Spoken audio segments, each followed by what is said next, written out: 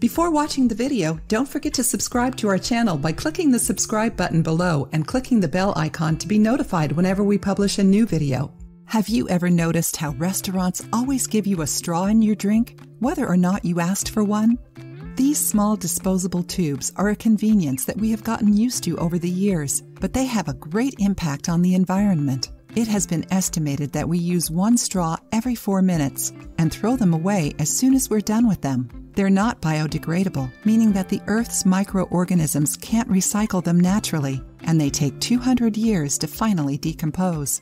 Awareness was brought to this issue after marine biologists in Costa Rica filmed the suffering of a turtle as a plastic straw was being removed from its nose. Straws not only affect sea life, but also the birds that get their food from the ocean. It has been estimated that 10 million tons of plastic end up in the ocean every year, and out of those 10 million, 100,000 are disposable plastic straws. And if that wasn't enough, it's very hard to recycle straws. For you to have an idea, 500,000 straws are used daily in the USA alone.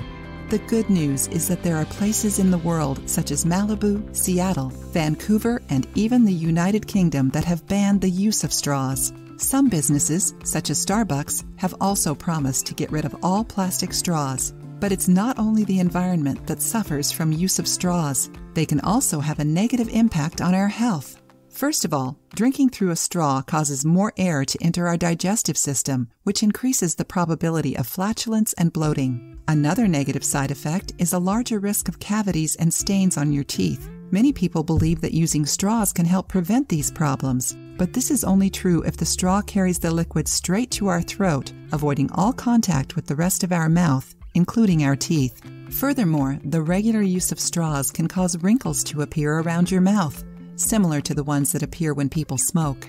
And the materials used to make straws can have an impact on our endocrine system. According to the researcher and nutritionist Chrissy Brissett, the polypropylene in plastic straws can filter into the water and affect our body's estrogen levels. Being highly carcinogenic, she considers most plastics to be harmful to our health and recommends that we avoid them as often as possible.